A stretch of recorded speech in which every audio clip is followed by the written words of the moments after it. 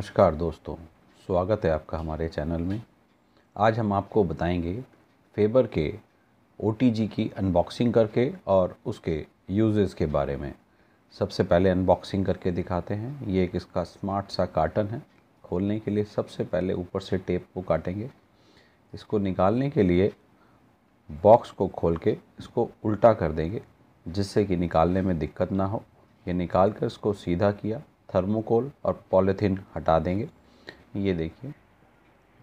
इसमें मिलेगा tempered glass.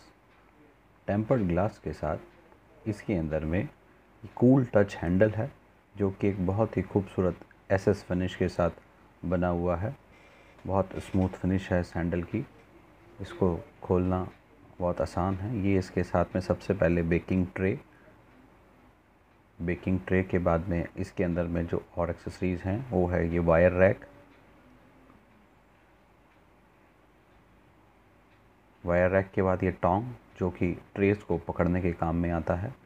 इससे ट्रे इजीली बाहर निकाल सकते हैं। ये इसके अंदर में रोटेसरी की एक्सेसरीज़ हैं रोटेसरी हैंडल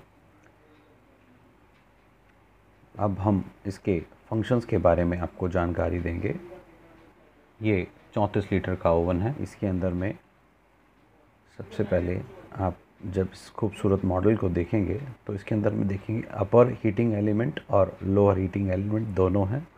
उसके बाद इसके अंदर में चार नॉब्स दिए हुए हैं। ये मल्टी फ़ंक्शन ओवन है। इसके अंदर सबसे ऊपर फ़ंक्शन का नॉब दिया है। फ़ंक्शन नॉब में सबसे पहले ऑफ़, उसके बाद रोटेसरी, कन्वेक्शन और रोटेसरी और कन्वेक्शन का कॉम्बिनेशन है। दूसरा नॉब इसके अंदर में टेम्परेचर के लिए है। ये 100 डिग्री से 250 डिग्री तक सेट किया जा सकता है। थर्ड नॉब सेलेक्टर है। इसके अंदर में off upper heating lower heating upper and lower heating का ऑप्शन दिया हुआ है। फोर्थ नॉब इसके अंदर में टाइमिंग सेट करने के लिए है। इसमें मैक्सिमम 60 मिनट के लिए सेट किया जा सकता है।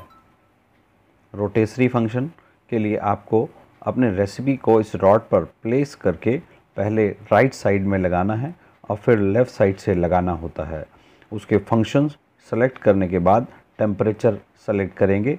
इसके लिए अपर एंड लोअर हीटिंग दोनों फ़ंक्शंस को चालू करना है। अब हम आपको कन्वेक्शन बेक के बारे में बताएँगे।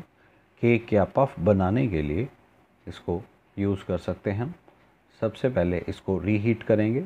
रीहीट करने के बाद इसके अंदर में सेंटर पोजीशन पर वायर रैक में इस केक को रख देंगे। उसके बाद सेलेक्टर के थ्रू इसके अंदर 180 डिग्री टेम्परेचर को सेलेक्ट करेंगे। आपकी रेसिपी जैसे ही तैयार हो जाएगी, इसकी इसकी अंदर की जो लाइट है वो ऑफ़ हो जाएगी।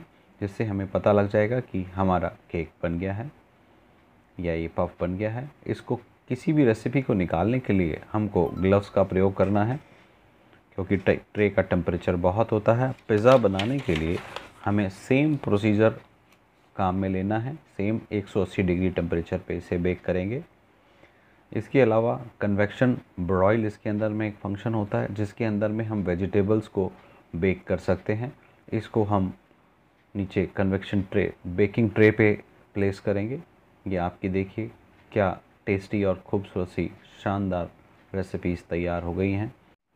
फेबर ओ में आपकी फैमिली और आपकी फ़ूड हैबिट के हिसाब से बहुत सारे साइजेस अवेलेबल हैं। इसमें आप 24 लीटर ले सकते हैं 45 लीटर ले सकते हैं।